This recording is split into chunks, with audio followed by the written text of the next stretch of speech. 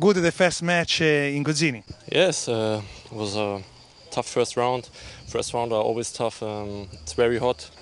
It's not the perfect conditions for me, but yeah, I'm happy that I that I won easily in the, in the end. So yeah, it's always good to win the first round, and yeah, I'm happy. Your impression about uh, the surface and the Guzzini? Uh, everything is perfect uh, so far. I really like it here. I really enjoy it. The weather is, like I said, very beautiful but really hot.